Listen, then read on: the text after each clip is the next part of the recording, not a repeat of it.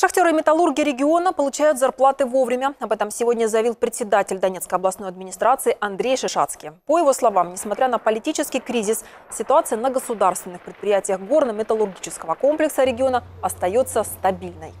Октябрь полностью угольщиками получен, э, я имею в виду государственные, которые мы контролируем. В металлургии тоже нет задолженности по зарплате в области.